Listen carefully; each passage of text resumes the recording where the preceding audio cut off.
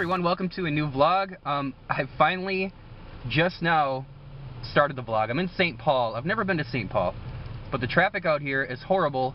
Uh, I'm going to Como Zoo, and uh, I'm going to get a little footage over there, but I wanted to start the vlog somewhere, um, but I just I couldn't start it. Traffic is nuts. Uh, driving here is crazy. Yeah, but it's my first time here and um, it's it's actually a really really pretty city and I'm looking forward to getting to the zoo.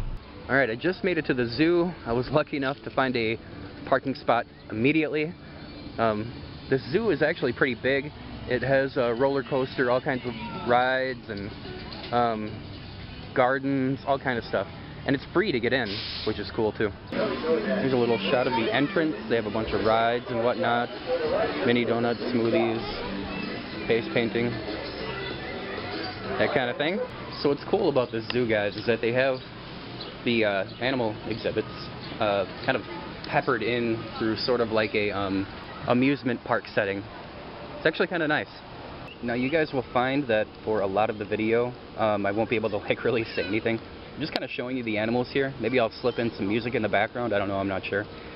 But uh, there's quite a few people around here, and I'm trying to be respectful. So.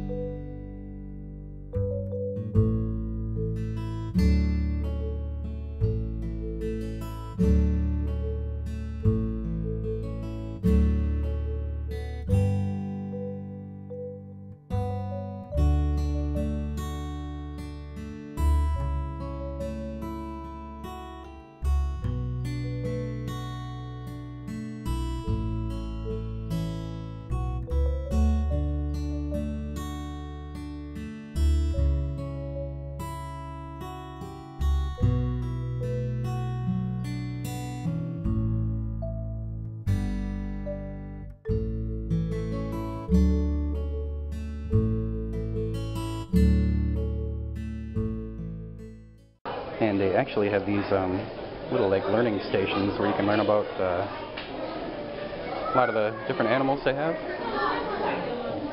Kind of cool.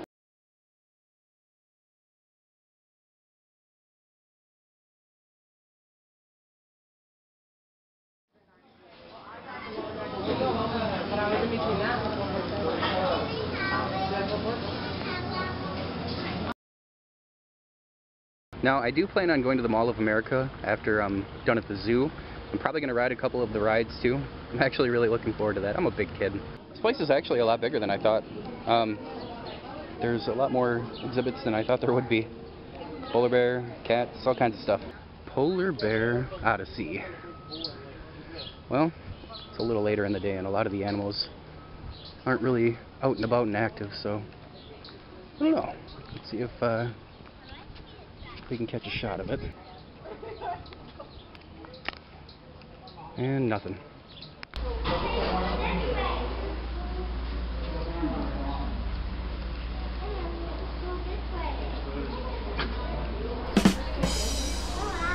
Okay guys, I just got out of the large cat exhibit. Um, there was uh, quite a few things in there, but I couldn't really get a lot of footage, a lot of people, that kind of thing. This place is huge. This zoo is absolutely huge. And, uh, I mean, I'm already like maybe two and a half, three hours in, and I feel like I haven't even touched half of it. This exhibit right here is empty, but uh, we're going to keep moving. Haven't got to the rides yet, but I am going to hit that up before I leave. Then, Mall of America, guys. This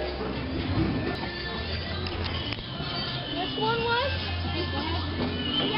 Thank you. You. Sure.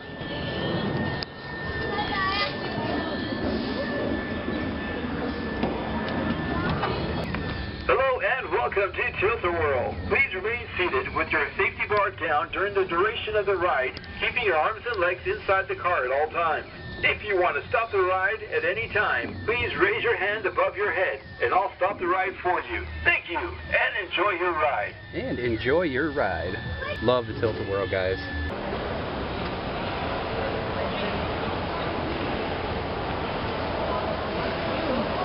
Okay, I did get a couple of things over at the Five or Below store. I'm going to show you guys that stuff later. I got a couple of t-shirts and some other cool stuff. Oh, I got a cord for my um, dash cam. I haven't had a cord to that in quite some time. I lost it. Yeah. Don't know if I'm going to hit up uh, Nickelodeon Universe this time around or not. Not sure. Here's one of the stores that I actually come to every single time I come to the Mall of America. But it's weird because I actually have one in my hometown, but I stop by it every single time. Not because I want to buy anything, but just because I want to try some of the samples. Yeah, I'm that guy. Okay guys, that was a really fun trip, a whole lot of driving, but I had a really fun day. I'm going to end the video off by showing you what I got at uh, 5 or below. Um, I got a mini USB cable for my dash cam. I ended up losing it. I'm not really sure what happened to it, but uh, I got a new one for that.